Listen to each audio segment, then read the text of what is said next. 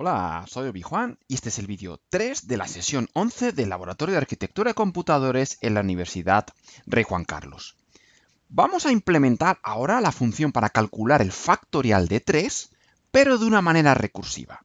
Y para ello vamos a partir de lo que ya teníamos. Ya habíamos visto que para implementar esta función vamos a utilizar tres funciones independientes que están en distintos niveles. Están en distintos niveles porque una llama a la otra, que llama a la otra, y luego van retornando hasta llegar al programa principal. Estamos aquí en, en distintos niveles. También habíamos visto que de estas tres funciones, la que calcula el factorial de 2, lo que devuelve es 2 por lo que me devuelve el factorial de 1, y aquí tenemos fact3 que lo que me devuelve es 3 por el factorial de 2, que son dos funciones que son prácticamente iguales, es decir, es el mismo patrón, es multiplicar una constante por la llamada a otra función, es un patrón que se repite. Y aquí tenemos dos códigos distintos. Este patrón de aquí, este es diferente porque es un caso particular, es un caso en el que tenemos la función constante, el factorial de 1 es 1, no hay que llamar a ninguna función, se devuelve directamente un número constante. Pero estas dos son muy iguales. El código es prácticamente igual. Esta forma de hacer las cosas, que hemos visto que funciona, si lo ejecutamos, ya lo habíamos visto, esto funciona perfectamente. Me calcula el factorial de 3, que es 6. Tiene un problema. Es que imaginaros que ahora tenemos que calcular el factorial de 10. Bueno, pues para resolverlo de esta manera, usando funciones encadenadas, ya sabemos que sería mucho más fácil usando, usando un algoritmo iterativo. Pero usando funciones encadenadas, pues para calcular el factorial de 10 habría que utilizar 10 subrutinas. Habría que tener aquí 10 ficheros con 10 subrutinas. Una que me calcula el factorial de 1, otro el factorial de 2, otro el factorial de 3, otro el de 4, el de 5, etc. Y de todas ellas, todas las, las intermedias, desde el 2 hasta el 9, perdón, desde, desde el 2 hasta el 10, sería un código muy similar, con un patrón muy similar, y la, lo único, esta sería un caso distinta, que esta seguiría siendo igual, me devuelve el factorial de 1. Pero estas nueve funciones de aquí serían prácticamente iguales. Oye, ¿no habría una forma de reutilizar ese código en vez de tener que estar replicando el código, duplicando el código? ¿No podríamos reutilizarlo? Sí. Y eso se llaman funciones recursivas, que me permiten sacar un poco sacar como el factor común de todo el código que es común a todas las funciones y agruparlo. Pues ese código lo vamos a generalizar para que me coja todos los casos, para que me coja desde los casos eh, intermedios, que, digamos sería como el caso general, el caso en el que el patrón es algo por la llamada a otra función, y luego el caso particular, el caso final, el caso terminal en el que solo tienes que devolver uno. Y eso, pues matemáticamente, lo definimos de esta manera. Este sería el algoritmo. Dices, oye, mira, para, para implementar la función que me calcula el factorial de n, ahora ya le pasamos la n como un parámetro. con lo cual, esta función es una función que admite un parámetro de entrada y me devuelve un parámetro de salida con el factorial. Bueno, pues matemáticamente la definimos así, o digamos el algoritmo sería así. Para calcular el factorial de n es, oye, si lo que te piden es que si la n es igual a 1, estamos en el caso terminal, en el caso en el que esto ya no, no hay que llamar a ninguna función, simplemente retornamos un 1. Pero si te han llamado a la función con un valor del parámetro mayor que 1, en ese caso lo que haces es que multiplicas el parámetro n por la llamada a otra subrutina con el parámetro con n decrementado en 1.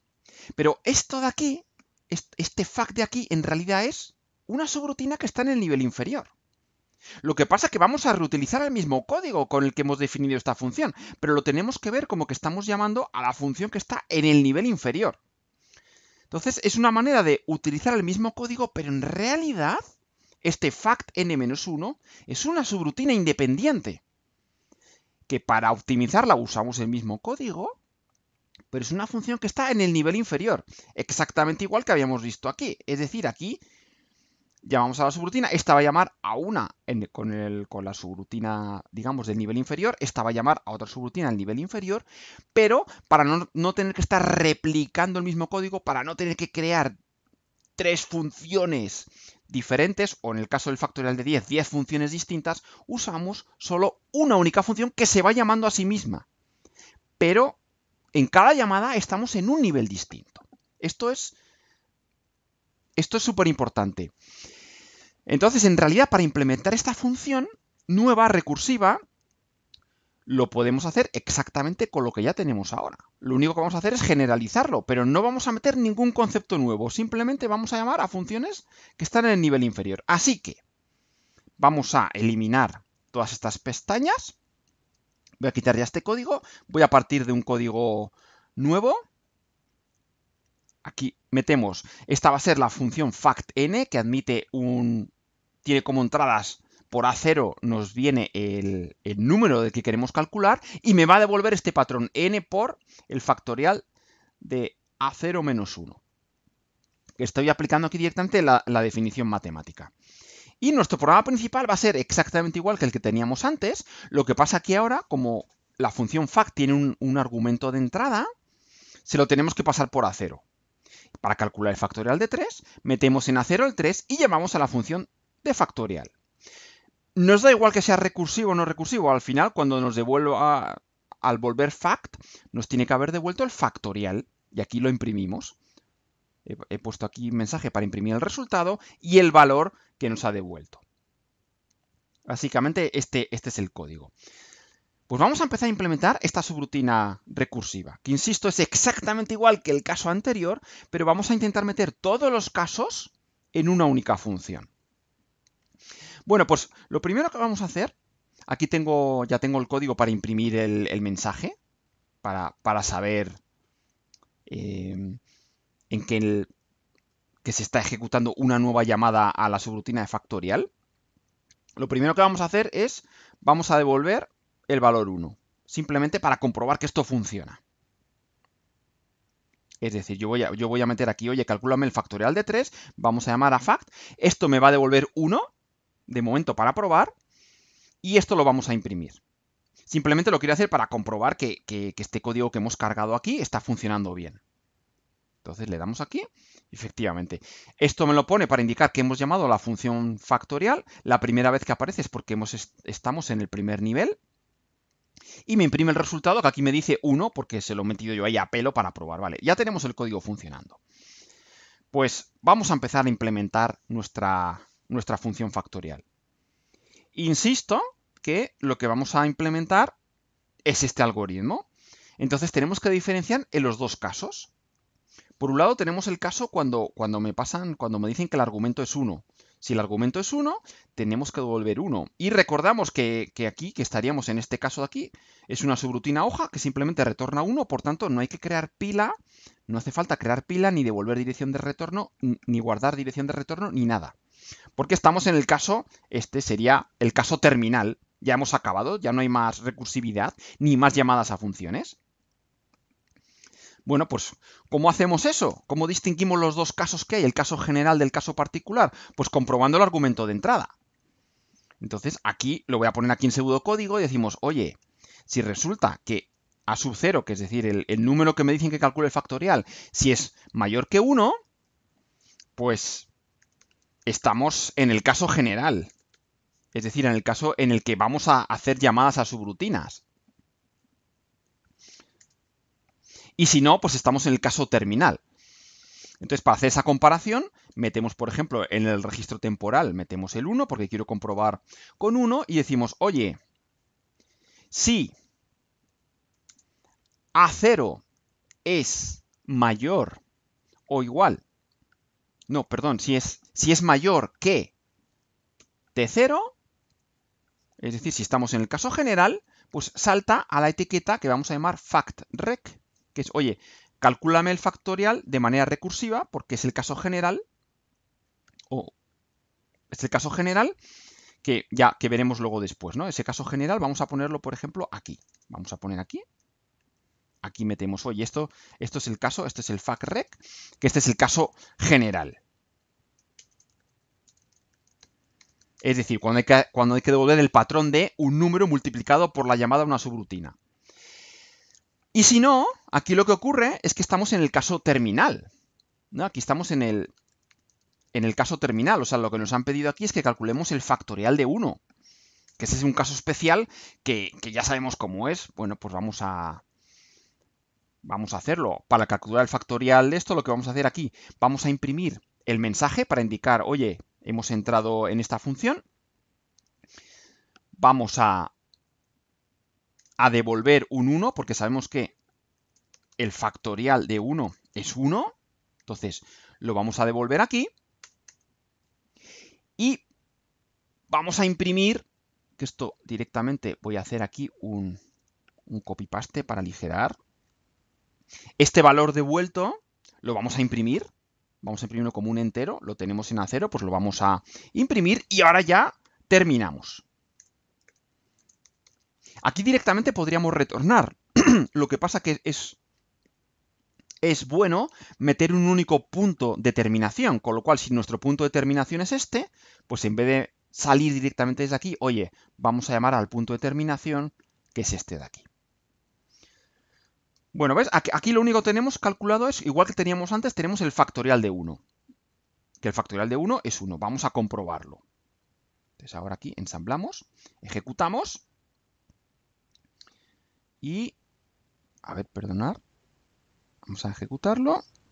Me dice resultado 3. Estamos llamando aquí al factorial con el argumento 3. Ah, vale, vale, vale, perdonar. es que claro. No, ahora vamos a comprobar si funciona el factorial de 1. Le vamos a pasar el argumento 1, eso es. Ahora sí, porque había, algo ahí que no me cuadraba.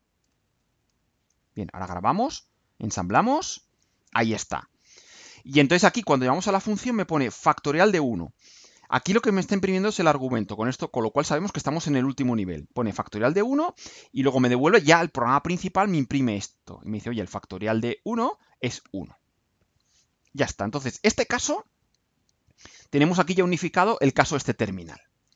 Vámonos ahora al caso general. Oye, si el argumento que me pasan es calculame el factorial de 3, por ejemplo, pues para calcular el factorial de 3, lo que tenemos que hacer es multiplicar 3 por el factorial de 2. Y aquí estamos ya en el caso general. Sería este. En el caso general, ya sabemos que, como vamos a tener que llamar a otra subrutina, tenemos que crear la pila. Pues entonces esto lo hacemos igual que hemos hecho antes. Oye, aquí es necesario crear la pila. Necesitamos crear la pila para guardar la dirección de retorno. Entonces, esto, como creamos la pila, como siempre, creamos una pila mínima de cuatro palabras, 16 bytes. Almacenamos ahora la dirección de retorno que está en el registro RA. Como siempre, veis que esto es muy mecánico, esto va a ser siempre igual. Y para que no se nos olvide, antes de terminar, para que no nos pase que se nos olvide, pues justo antes de terminar, que no se nos olvide recuperar la dirección de retorno, o si no, se nos quedará en un bucle infinito.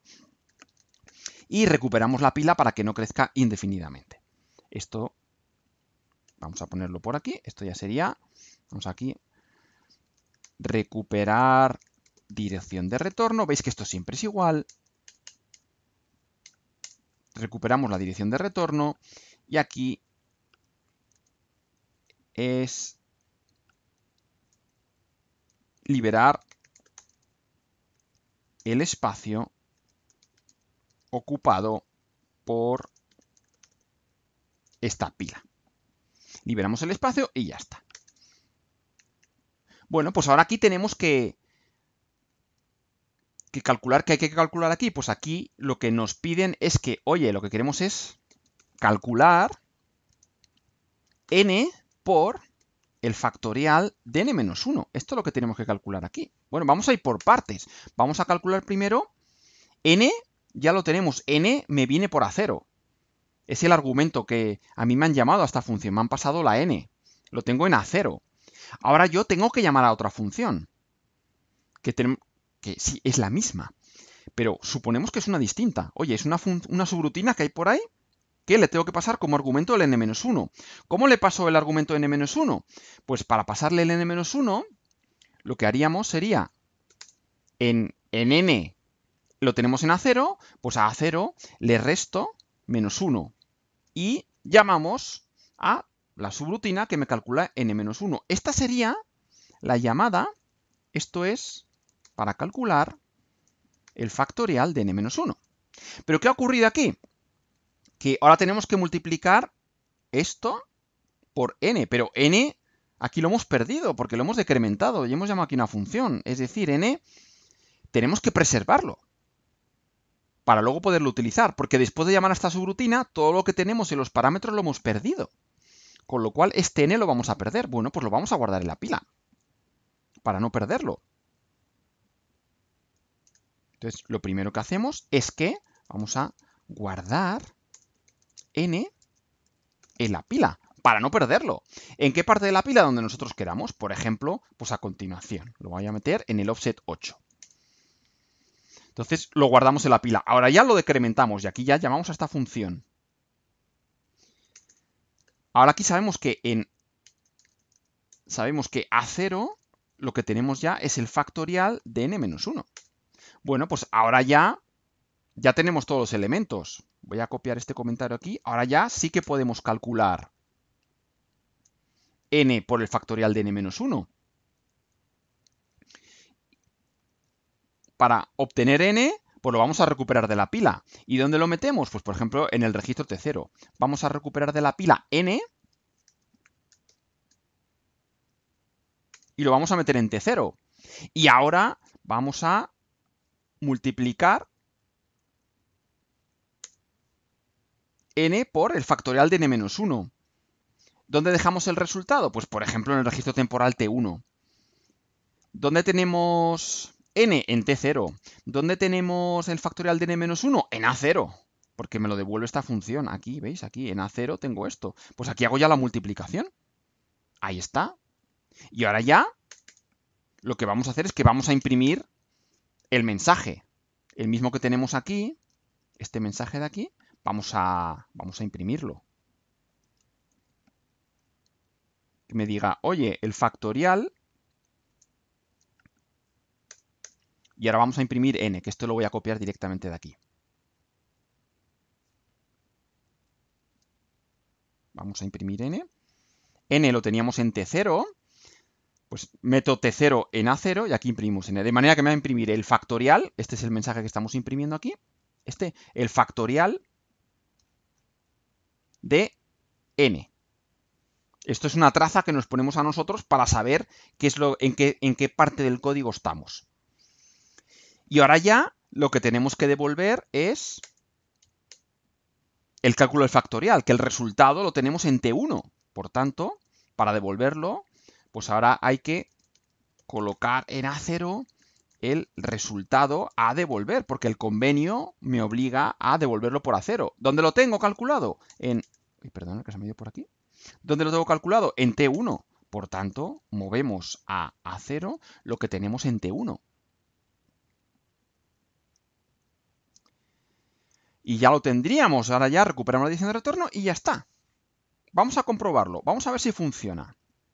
Vamos a hacerlo poco a poco. Primero vamos a ver que no hemos estropeado nada. Si yo le digo que me calculo el factorial de 1, se me debe ejecutar el caso anterior, que sería este de aquí, y todo debería seguir funcionando. Vamos a comprobar que está todo funcionando bien. Vamos a borrar la consola. Y ahora aquí le damos y me dice, vale, el factorial de 1, el resultado es 1. Perfecto. Ahora vamos a probar con el factorial de 2. Oye, calcúlame el factorial de 2. Pues lo mismo. Le damos, hemos ensamblado, ahora le damos aquí a ejecutar y me dice que el resultado del factorial de 2 es 2. Y las trazas que hemos puesto es, se llama, se llama a una función que me, que me devuelve el factorial de 1 y se devuelve a otra, se llama otra función que me calcula el factorial de 2. Bien. Esto está parece que está funcionando. Y ahora decimos, venga, ahora el factorial de 3. Le damos. Y ve, y efectivamente el factorial de 3 es 6 y se han realizado tres llamadas a subrutinas. Una que me ha calculado el factorial de 1, otra el factorial de 2 y otra el factorial de 3. Recordar que esto que metemos aquí es el argumento, el, que le pedimos que calcule. Ahora, ¿qué ocurre? Si lo queremos generalizar con este mismo código, dices, no, mira, yo ahora quiero que me calcules el factorial, vamos a meter el de 5. El factorial de 5. Pues se van a realizar 5 llamadas a subrutina. Una que me calcula el factorial de 1, luego el factorial de 2, el de 3, el de 4, el de 5 y el resultado final que es 120.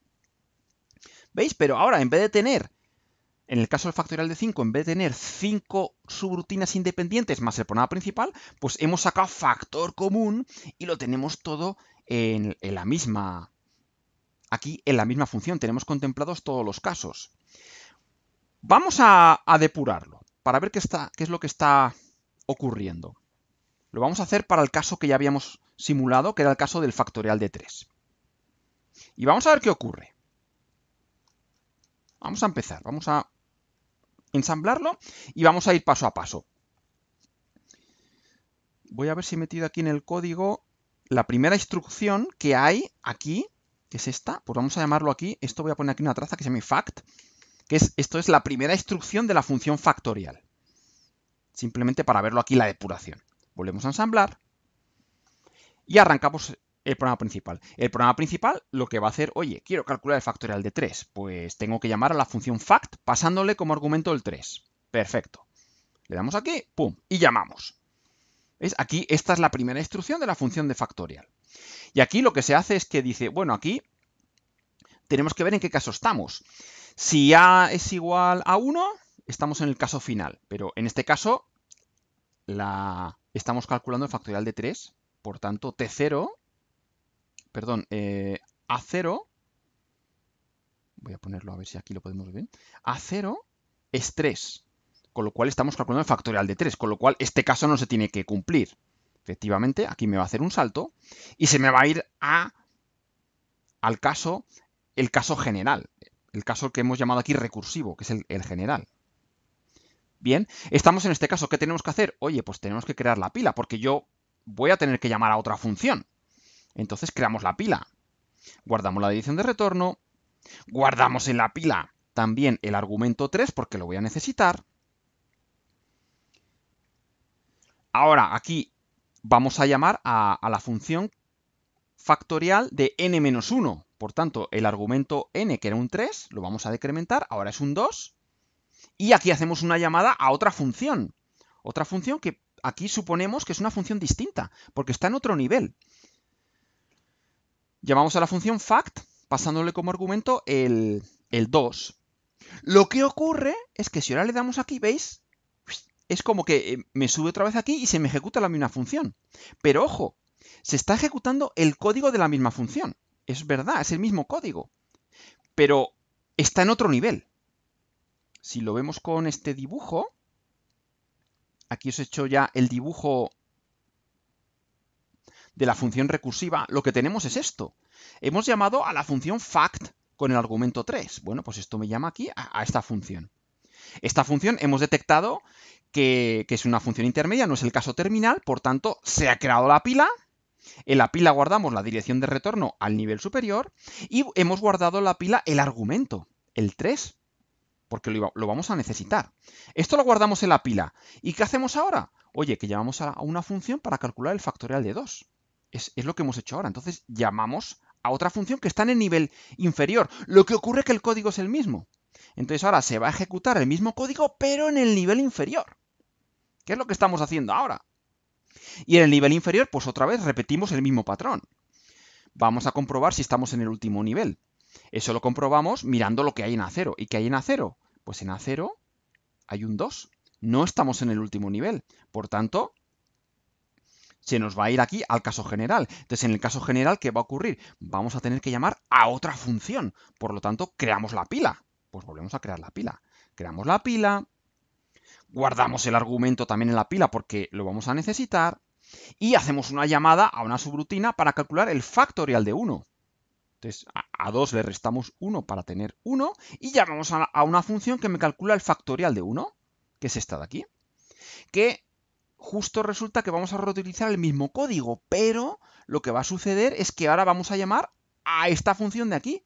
Entonces hemos llamado a esta función, hemos creado la pila, hemos guardado la dirección de retorno al nivel superior, hemos guardado la pila un 2 y ahora vamos a llamar a la función del siguiente nivel para calcular el factorial de 1.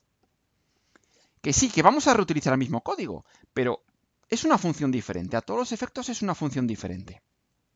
Venga, pues la llamamos. Ahora la llamamos y reutilizamos el mismo código, pero estamos ahora aquí, estamos en este nivel, en este nivel. Bien, pues ahora lo probamos.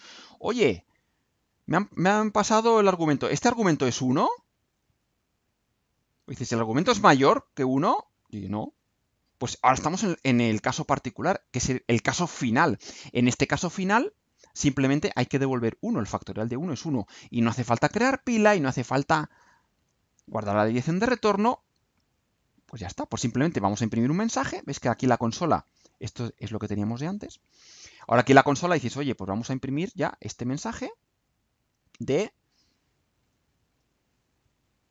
que me han pedido que calcule el factorial. Y es el, eh, es el factorial de 1, así que voy a devolver 1. Y vamos a imprimir el, número que, me han pedido que calcule, que es el factorial de 1. Me dicen, oye, me han pedido que calcule el factorial de 1, por, con lo cual yo devuelvo 1. Y termino. Y te vas al red. Ahora este red, ¿a dónde me va a llevar? Pues este red me va a llevar al nivel 2, a donde lo he invocado yo del nivel 2. Entonces le damos aquí y ahora esto me vuelve aquí. Habíamos llamado aquí a la, función fact, pues ahora me vuelve aquí. Pero en el nivel 2, por tanto, en el nivel 2,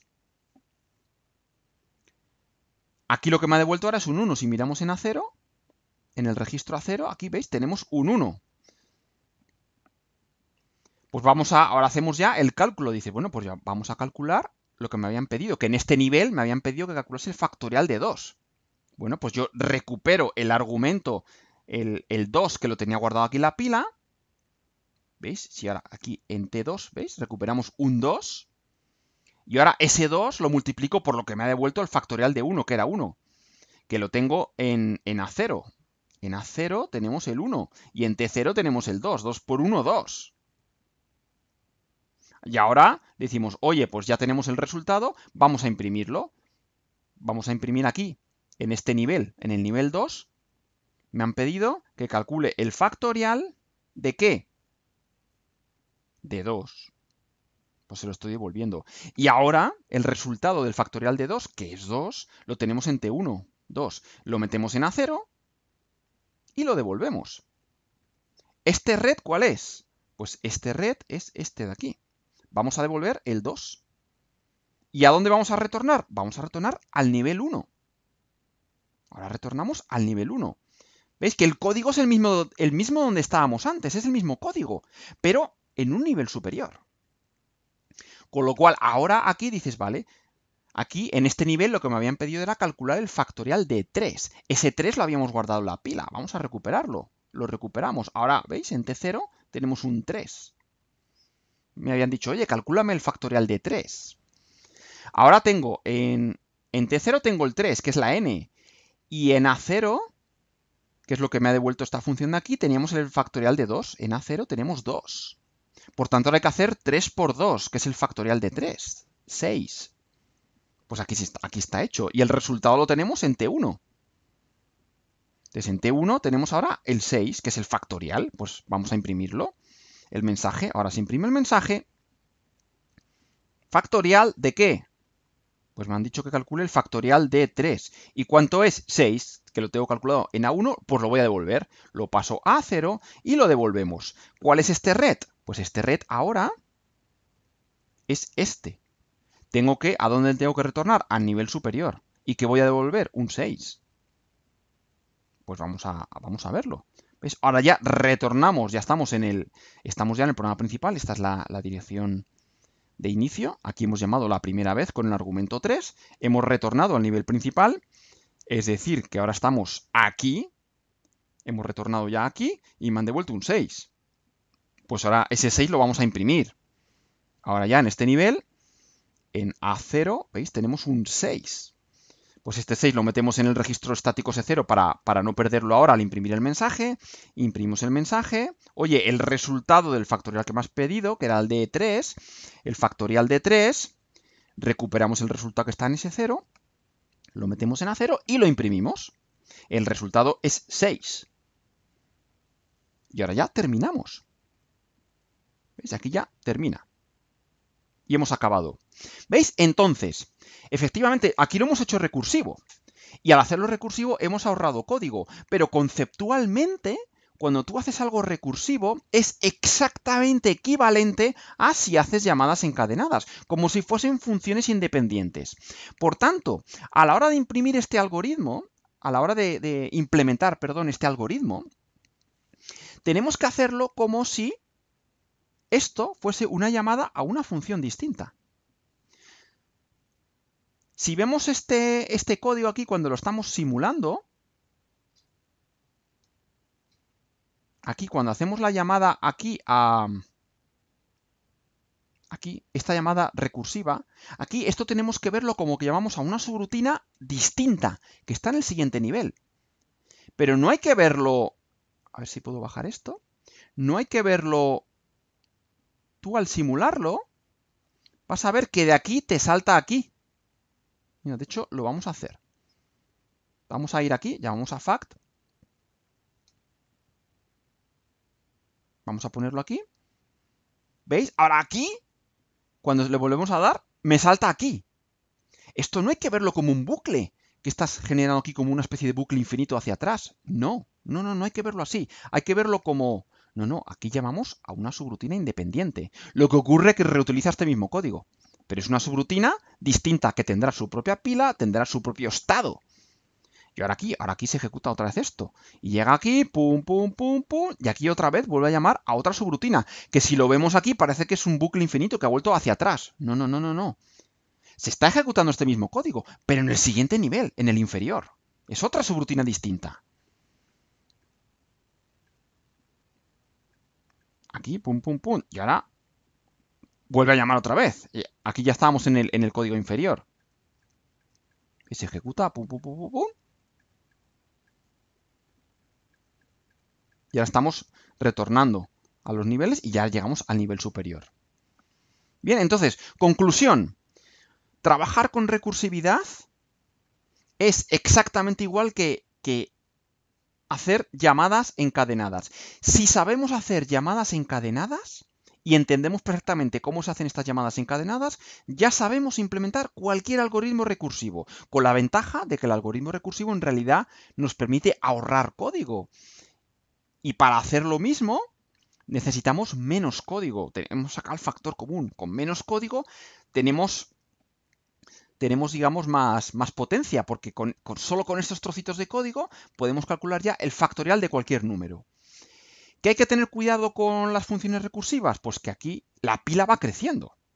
Entonces, estas llamadas aquí, si bien este código lo hemos reutilizado y hay muy poquito código, lo que sí que se va creando, cada, cada vez que bajamos un nivel, se nos va creando la pila.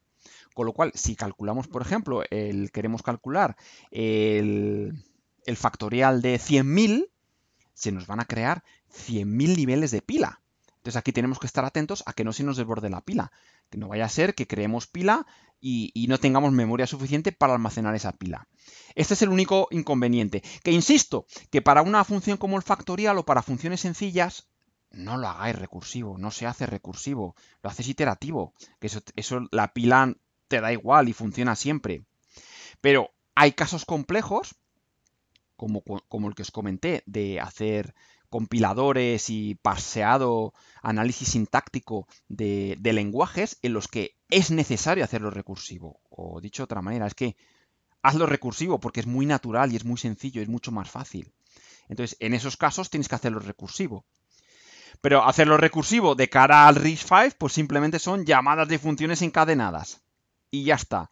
Y simplemente sabiendo que teniendo acotado el nivel máximo de la pila, sabiendo que tenemos espacio suficiente en la pila para poderlo hacer de esta manera, pues ya lo tenemos resuelto.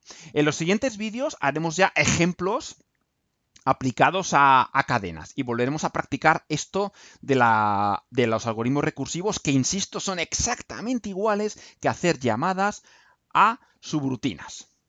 Esto es todo desde Obi Academy, que el RIX5 os acompañe.